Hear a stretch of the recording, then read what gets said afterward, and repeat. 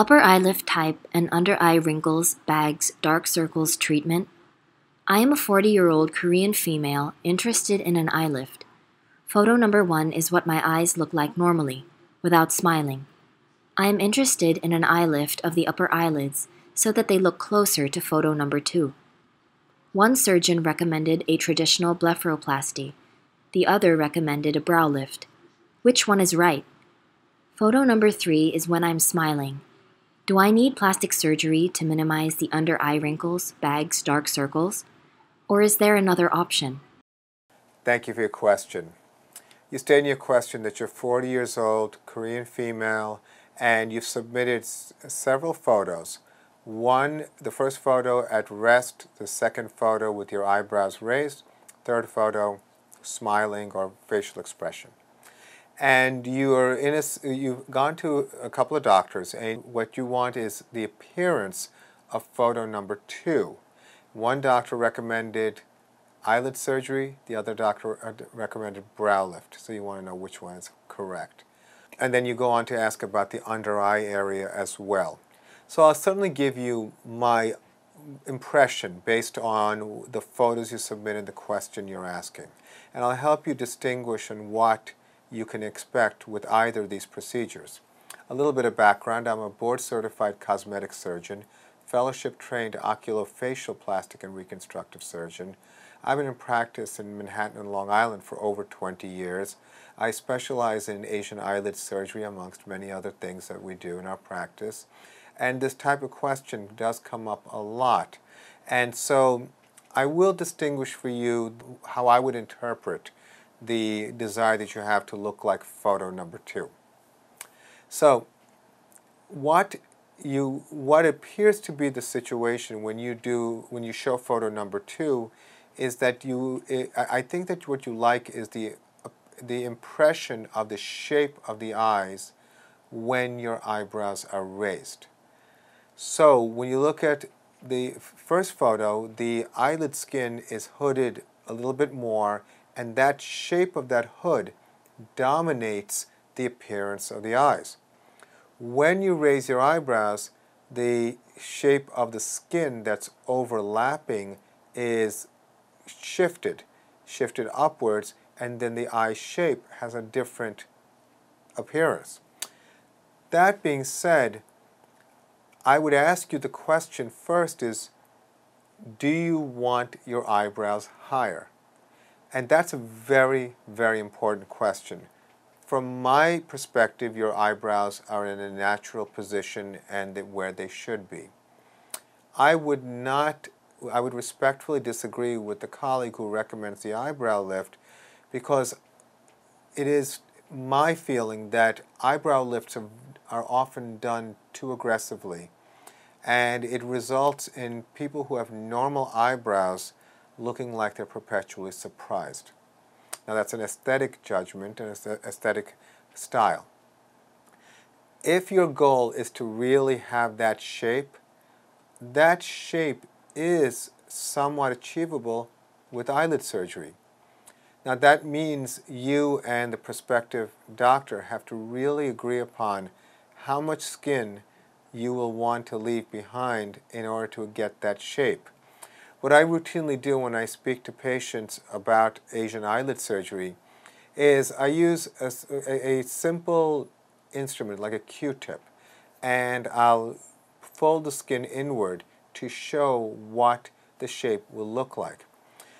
It is not uncommon for people to want a very conservative result where they just have just a little bit of eyelid showing. A lot of people want a well-defined double eyelid.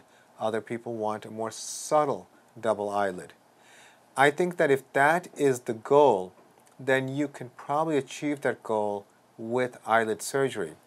Now when it comes to Asian eyelid surgery, the decision point is often based on the desired outcome and then the presence or absence of excess skin, excess fat.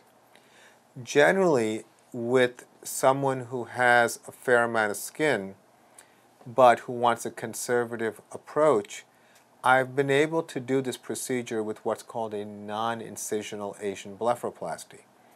What non-incisional blepharoplasty means is basically little openings are made in the skin, skin is not removed, and the skin is anchored to the muscle called the levator muscle. That means then that the skin folds at a higher place.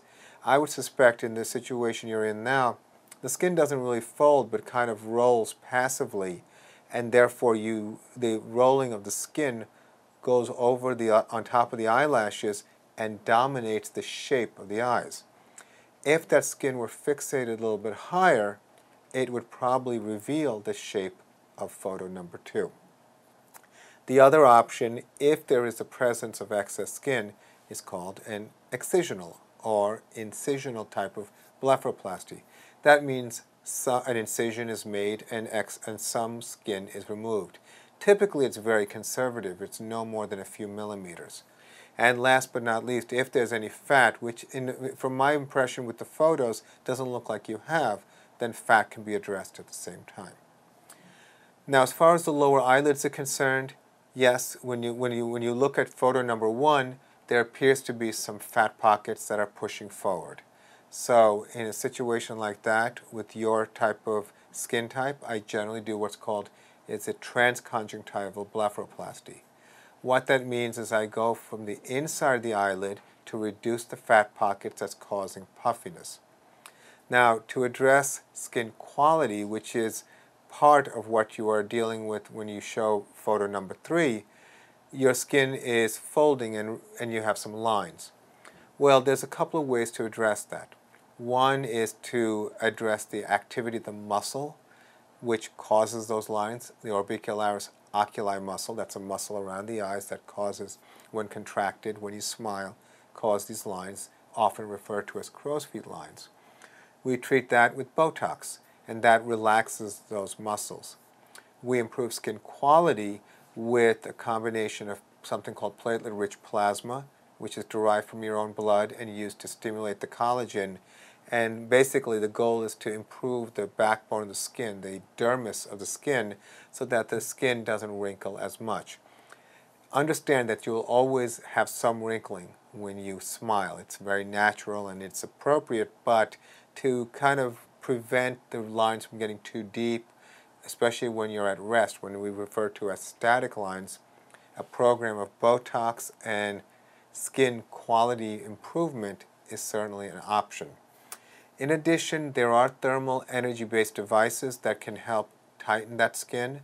And usually for someone with Asian skin, I go towards the radiofrequency treatments such as what we have in our office called Pellevé to help tighten the skin, but that's also dependent again on where in the hierarchy of importance these things, these, these concerns fall. So I think it's important that you have this discussion with your doctors and look at yourself with your eyebrow raised.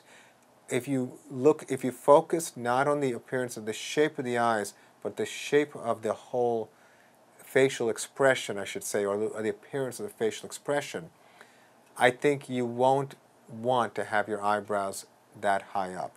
If you do, well then you should certainly move forward with the brow lift. But I think you'll probably be most likely um, better off with the upper eyelid surgery as well as possibly lower eyelid surgery.